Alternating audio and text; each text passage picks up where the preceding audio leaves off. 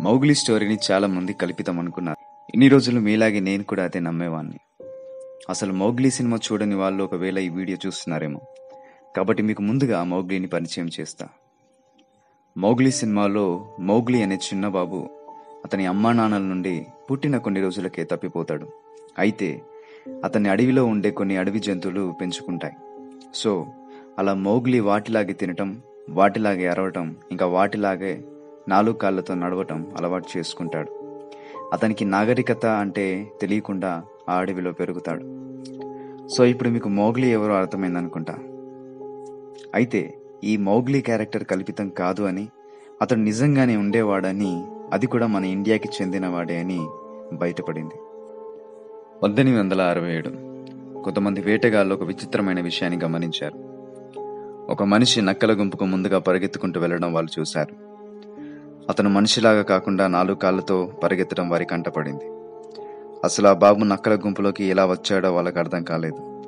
కానీ ఒకటి మాత్రం వారికి అర్థమైంది. అదేంటంటే ఆ బాబుని నక్కలే దగ్గరుండి జాగ్రత్తగా చూసుకుంటున్నాయని. ఆ వేటగాళ్ళు ఆ బాబుని ఎలాగైనా అక్కడి నుండి కిడ్నాప్ చేసి మనుషులుండే ప్రాంతానికి తీసుకెళ్ళాలని అనుకుంటారు. ఒక గుహలో ఒక నక్క ప్రక్కన నిద్రపోతున్న టైంలో ఆ వేటగాళ్ళు గుహలోకి పొగను పంపించి ఆ నక్కలన్నింటినీ తరిమేస్తారు. ఆ బాబు ఏ నక్క ప్రక్కనైతే పడుకున్నాడో ఆ నక్కను చంపి బాబుని అక్కడి నుండి తీసుకెళ్తారు. అప్పుడు ఆ బాబు వయస్సు ఆరేళ్ళు. వారు ఆ బాబుని ఆగ్రాలోని ఒక అనాథాశ్రమంకి తీసుకెళ్తారు. అక్కడ ఆ బాబుకి స్నానం చేయించి దీనా శానిచర్ అనే పేరు పెట్టడం జరుగుతుంది.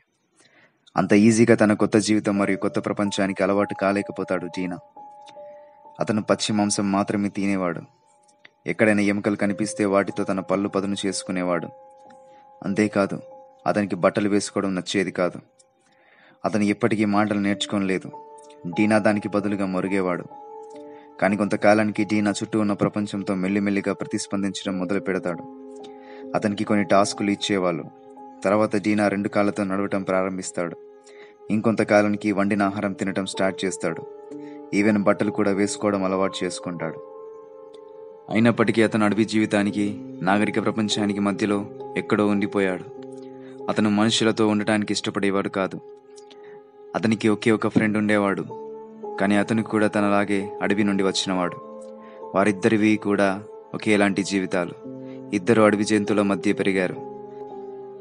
ఆ అనాథాశ్రమాన్ని చూసుకునే ఫాదర్ ఎర్హార్ట్ వాళ్ళని చూసి వారిద్దరి మధ్య బలమైన రిలేషన్షిప్ మొదలైంది. వారిద్దరిలో పెద్దవాడు చిన్నవాడికి కప్పుతో ఎలా త్రాగాలో నేర్పించాడు అని అంటాడు. తర్వాత డీనా స్మోకింగ్కి అలవాటు పడతాడు. చివరికి అది వ్యసనంలా మారిపోతుంది.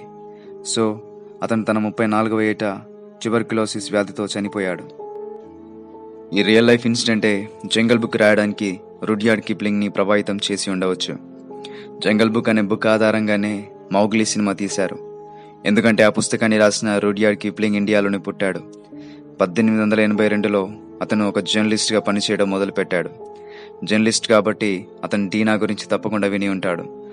సో అలా తన పుస్తకం జంగల్ బుక్లో మౌగ్లీ క్యారెక్టర్తో డీనా ఇండైరెక్ట్గా పాపులర్ అయ్యాడు. ఈ పుస్తకం పద్దెనిమిది వందల తొంభై నాలుగులో పబ్లిష్ అయ్యి కొంతకాలానికే చిన్నపిల్లలు ఎక్కువగా ఇష్టపడే ఆల్ టైమ్ బెస్ట్ సెల్లర్ క్లాసిక్గా రికార్డ్ సృష్టించింది. ఇప్పుడు ఆ పుస్తకం పేరుతోనే మూవీ ఉండటం మనందరికీ తెలిసిందే.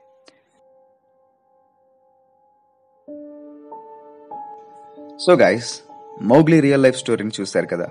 ఇలాంటి మరెన్నో ఇంట్రెస్టింగ్ రియల్ లైఫ్ స్టోరీస్ కోసం ఈ ఛానల్ని సబ్స్క్రైబ్ చేసుకోండి. నేను పెట్టే ఏ వీడియో మీరు మిస్ అవ్వకూడదంటే కనిపిస్తున్న గంట సింబల్ పైన క్లిక్ చేయండి. గాయస్ మరొక ఇంట్రెస్టింగ్ స్టోరీతో మీ ముందుకు వస్తా థ్యాంక్ యూ ఫర్ వాచింగ్